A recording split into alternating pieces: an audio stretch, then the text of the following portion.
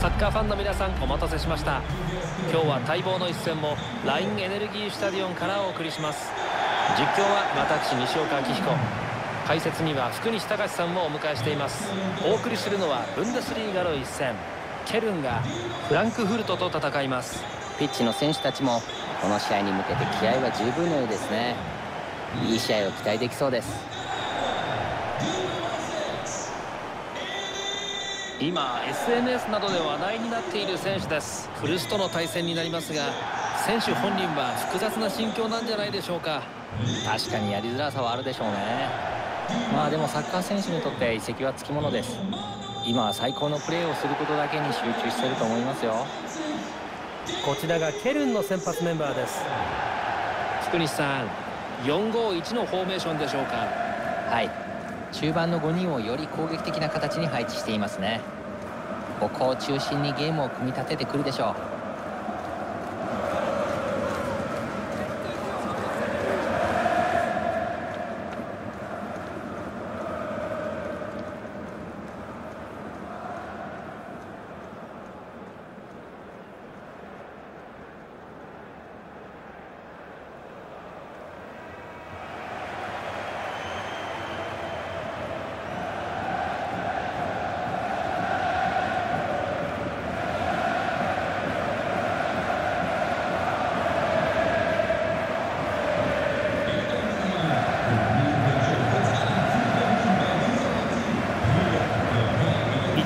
ケルンはドイツの他のクラブ同様サッカーだけでなくさまざまなスポーツ部門を持つ総合スポーツクラブです。はい。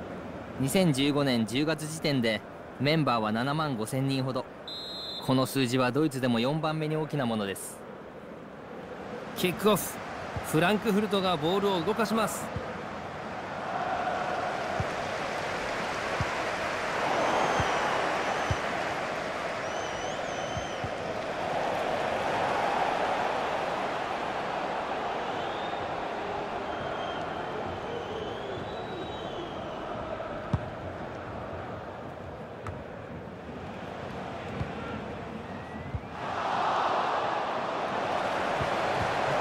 タッチラインを割りスローインです。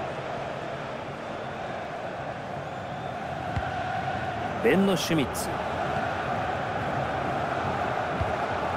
ボールをカット。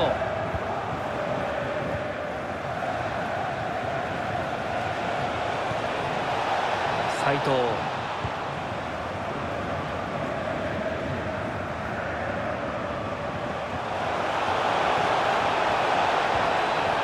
フェンスが冷静に処理します。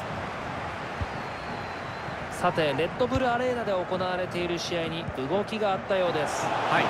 1点目のゴールがユニオンベルリンに生まれました。現在スコアは1対0時間は9分を過ぎたところです。わかりました。報告ありがとうございます。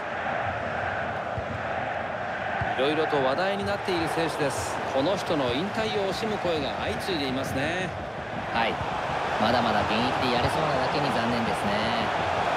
残された試合で優秀の美を飾れるといいんですが。ホイッスルフランクフルトボールです。ダニエル・パレホですがリバプールへの移籍が決まりました。これまで所属していたクラブはベテランの域に差し掛かった選手ですからこれが最後の移籍になりそうですね。移籍先でもまだまだ貢献できると証明してもらいましょう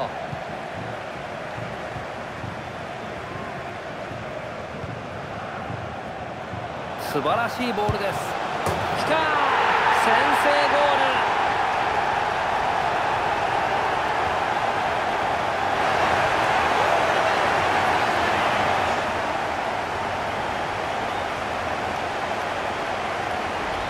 プレーを見てみましょうか。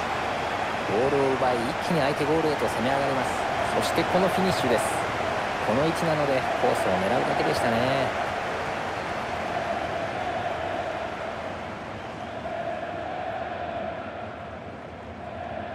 このゴールは監督もかなり嬉しそうです。狙い通りにリードできたのかもしれません。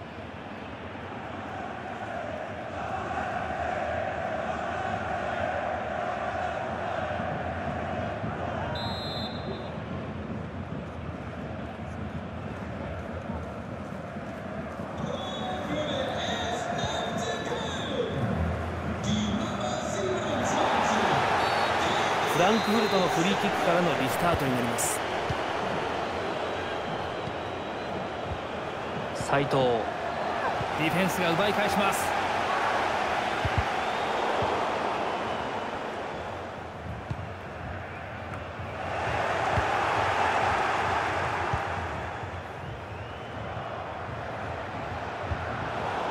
あわやというパスでしたがしっかりインターセプトしていますゴールを狙える位置です。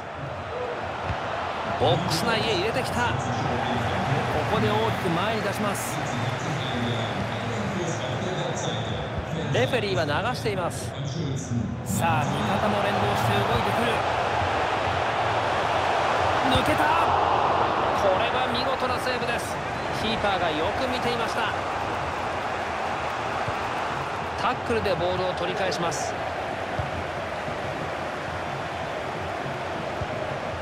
素晴らしいパス。あっとキーパーが止めた。ファインセーブです。ファールした選手の方を主審が見ていますね。ああカードが出ました。イエローカードです。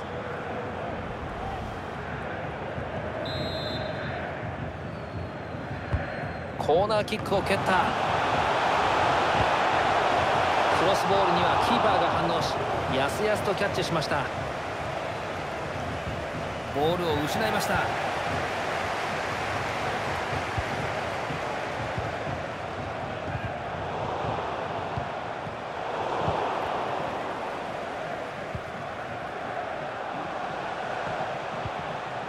攻撃はここで止められます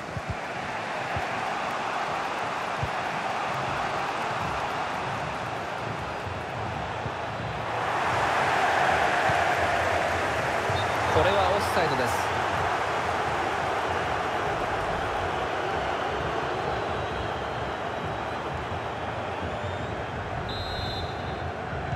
さてここでスタジオから情報が入ってきました。レッドブルアレーナで行われている試合でスコアが動いたようです。はい。最初のゴールがライプツィヒに生まれています。現在スコアは1対1時間は34分を過ぎたところです。報告ありがとうございます。高い上の動向をお伝えしました。シュートだ。ブロックで守った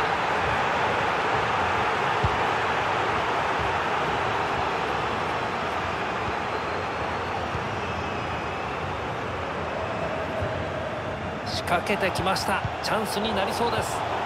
惜しい場面でしたが相手のディフェンスに阻まれました。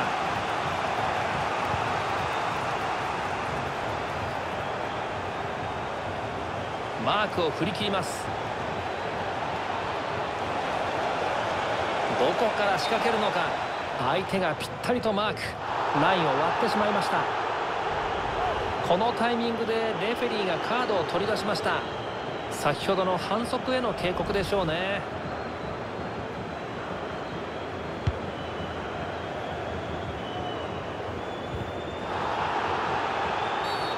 フランクフルトがフリーキックを獲得しました。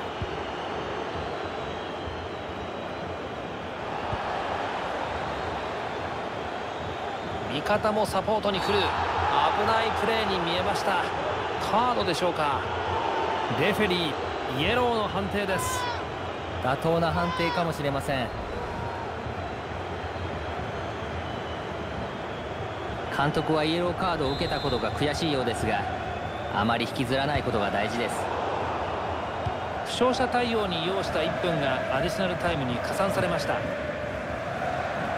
サイドのスペースを使ってきます。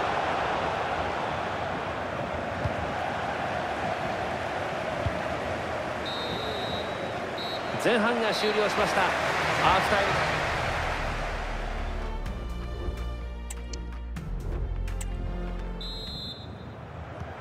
ム。後半戦が始まります。試合の途中ですがどうやら高い上で PK の判定が下されたようです。はい。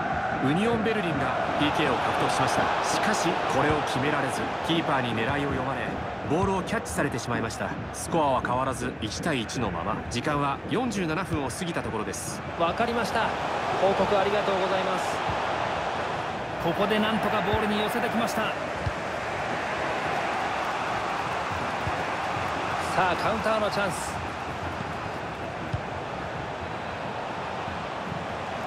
サイドから仕掛ける。中に持ち込んでいきます。チャンスかと思いましたが相手ボールになりました。さあアタッキングサードまでボールを運びます。ここからどう相手を崩していくのか。主審は一旦流していましたがここでファールを取ります。フリーキックが与えられました。ベンチで動きがあったようです。さてここで情報が入ってきました。ドルトムントの試合でスコアが動いたようです。はい。1点目のゴールがドルトムントに生まれました。スコアを記録したのはマレゴール前へのパスを軽く流し込むような形で得点しました。現在スコアは1対0時間は55分を過ぎたところです。ありがとうございます。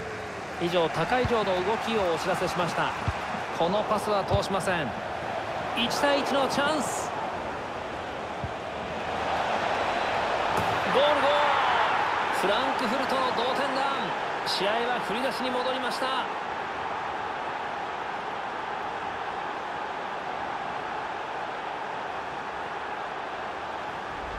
ゴールキーパーのポジショニングがまずかったようですね。この位置ではシュートに対応できるはずがありません。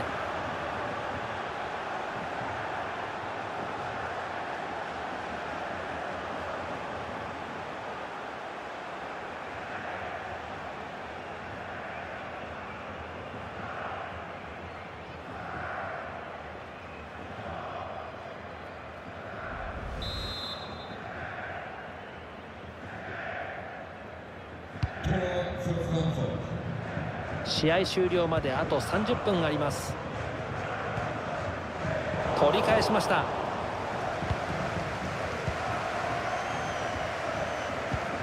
素晴らしい視野です。止めた。ボールが転がる。ここはボールをクリアしました。さあカウンターで一気に行きたい。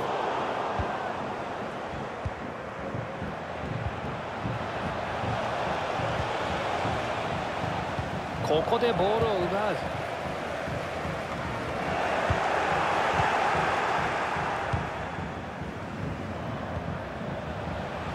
オーレリオ・ブタ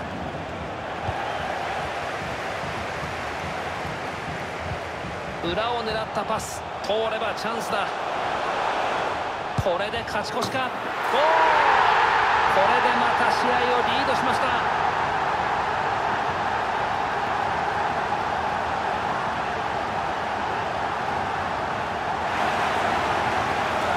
プレーが出ます。いいカウンターでしたね。ボールを奪って一気に攻めに転じました。そしてこのフィニッシュ。最後はキーパーとの1対1でしたがうまくかわしましたね。シュートも申し分ありません。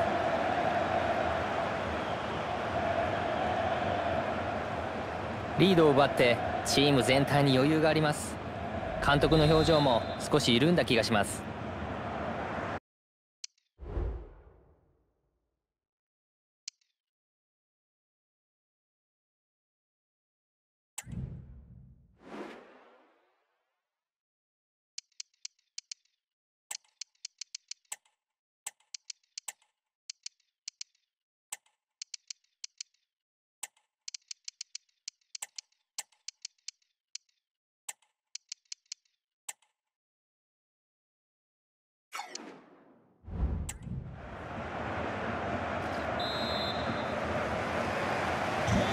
さあフランクフルトボールのキックオフでリスタートです。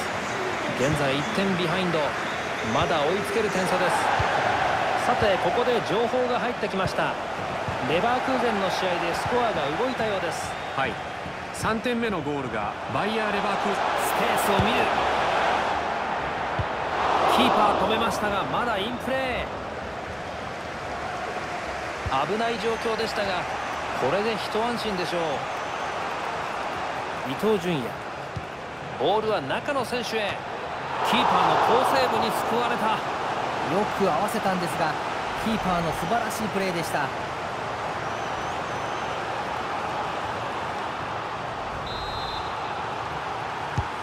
コーナーキックを蹴った。シュートはディフェンスに当たりました。止めた。しかしボールが手についていない。残り時間は15分です今のロあっとここで裏に抜けそうです。ここはキーパーに任せます。ありがとうございます。スタジオからの経過報告でした。繰り返しますとレバークーゼンにゴールが生まれました。これによりスコアは3対1とリードを広げることに成功しています。さてここで高以上の試合経過をお知らせいたします。決定的なゴールとなるか入ったゴールここで追加点。試合終盤にリードを2点に広げました。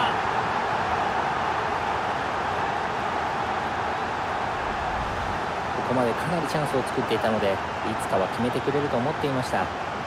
待望のゴールですね。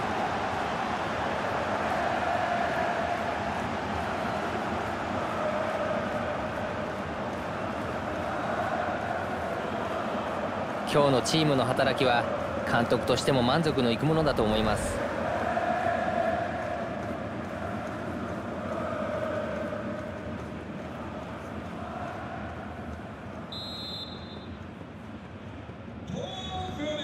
ありがとうございます。高以上の試合経過をお伝えしました。繰り返しますとレバークーゼンにゴールが生まれました。これによりスコアは4対1とリードを大きく広げることに成功しています。東純也。あと PK です。2点を追う展開でしたが試合終盤に1点も返すチャンスがやってきました。PK の判定。イエローカードが出ました。PK もイエローも仕方がないですね。妥当な判定かもしれません。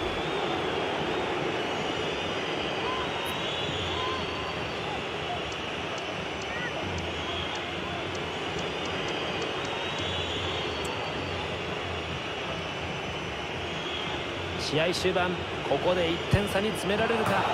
見事 PK をものにしました。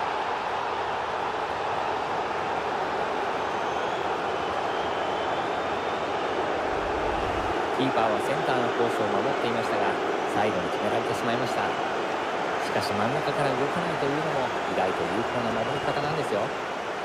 読みが当たればですが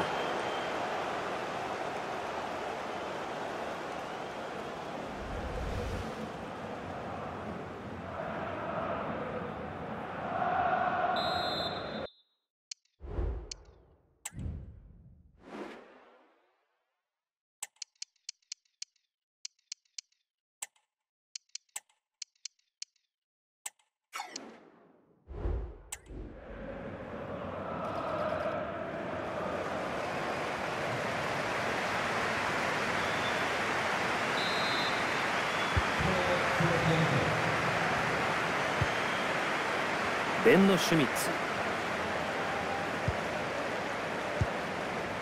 マルク・ウート。このチャレンジは失敗でした。カードが出るでしょうか。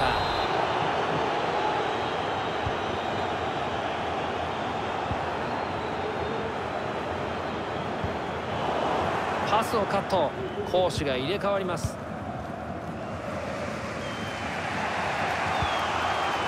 味方にパスを出します。伊東純也。ボールがこぼれた。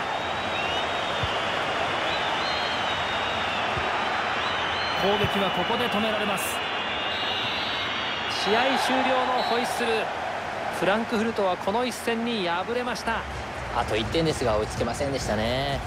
選手たちも悔しそうです。これで課題が見えたと思いますので。次節までに改善されることを期待しましょう。この試合では鮮やかなパフォーマンスを見せました。ゴールを決めたシーンはどちらも見事でした。プレーでチームを活気づけたことが勝利につながったと思います